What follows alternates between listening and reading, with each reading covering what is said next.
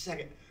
Oh, yeah. Oh, man. You know what I just got done listening to? Call a story, 580-4663 at Joe Topeka and Shawnee County Public Library. And you can call it any time of day. Let's find out what Marlana's doing.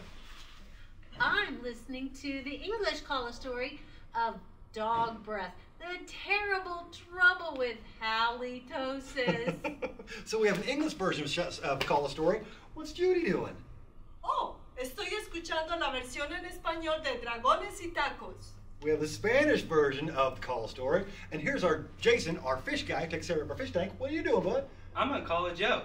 He's calling a joke. Wanted to have a little laugh today. So all you got to do is call this number on your screen, 580-46...